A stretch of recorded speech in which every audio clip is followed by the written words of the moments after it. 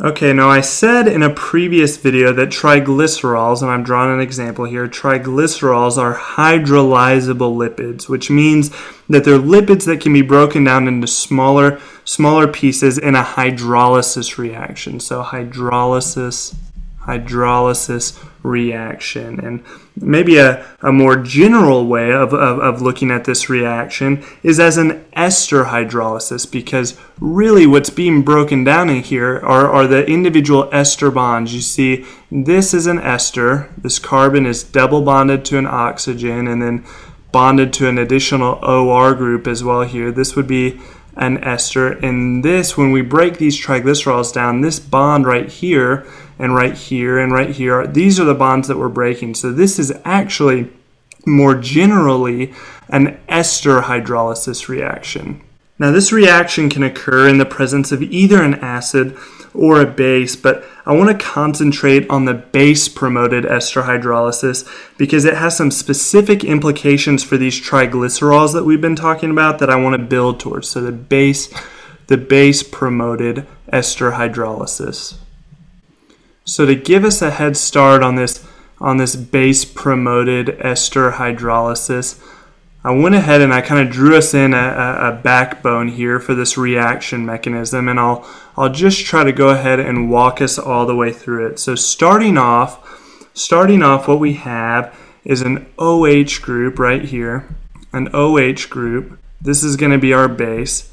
It comes in and it nucleophilically attacks this carbon. So this is a nucleophilic addition reaction and when these electrons come here, they, forces the electrons, some of the electrons from the carbon-oxygen double bond to kick up to the oxygen, which the oxygen pretty readily accepts these electrons. It's pretty electronegative as a as an atom. So in this tetrahedral intermediate, we end up with an uh, an anion, excuse me, of this oxygen. This is our our carboanion tetrahedral intermediate, but these electrons end up coming back down to reform this, this carbon-oxygen double bond because the, the double bond is a little bit more stable. And it forces these electrons from this OR group to push out and this OR group becomes a leaving group. So this would be step one, we kind of have the addition of this OR group. And in step two here we have the uh, OR group which is now got an extra pair of electrons leaves. So you can see in this step our, our, our OR group, which would be negatively charged, has left. And what happens is, is this OR group now is a really strong base. It's got this extra pair of electrons. It was a good leaving group, but it's a strong base. And we've formed a carboxylic acid. You see here we've got a carbon double bonded to an oxygen and then with an OH group. And this is a strong acid. So in this in this third, in this that would be the second step. In this third step, we have an acid-base proton transfer. So this OR group, this strong base, is going to pick up this proton, and these electrons are going to move back onto this pretty electronegative oxygen, which was willing to give up this hydrogen because it's such a strong acid. And you end up with a product of a carboxylic or I'm, I'm, I'm, excuse me, a carboxylate anion. So we've got that negative charge, and then our alcohol. So this would be the base promoted ester hydrolysis reaction. And you can see that this is the bond that we're breaking. We've broken that bond right here. Now in our body, this base promoted ester hydrolysis that allows us to break up these, these triglycerols is the starting point for all of our fat metabolism reactions. So if we want to take a fat and metabolize it and break it down so that we can get the energy out of it, remember that we had nine kilocalories of energy. If we want to metabolize fats, I'm going to write that up here as one of the uses of this base promoted ester hydrolysis reaction.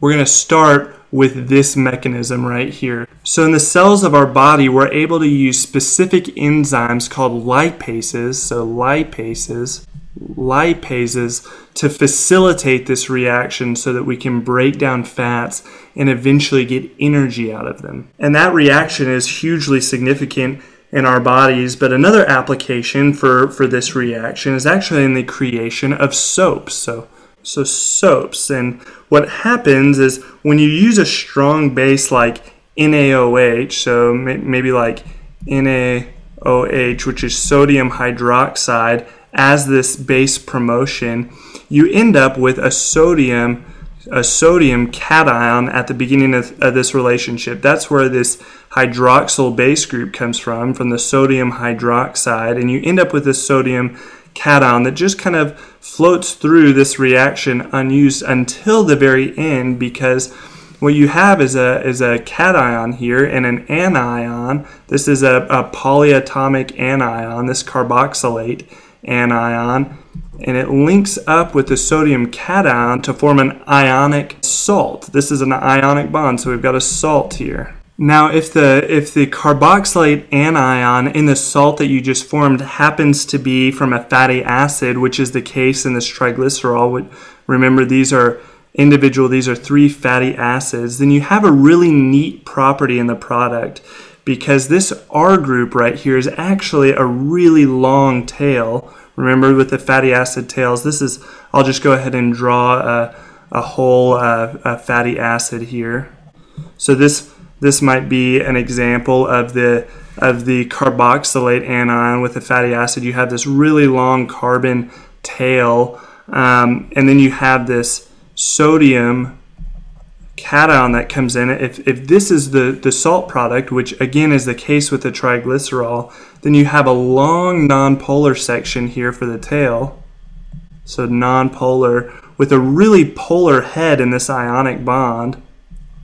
And this allows this salt, which is a soap, to dissolve both nonpolar molecules and polar molecules. So the the nonpolar side is going to wash away. It's going to dissolve things like grease and oil.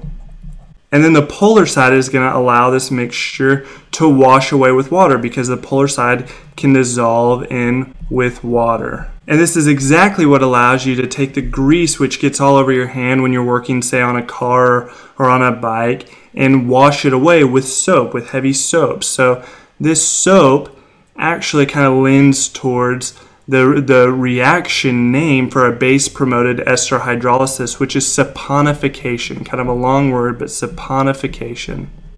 This is exactly what saponification is referring to the base promoted ester hydrolysis reaction.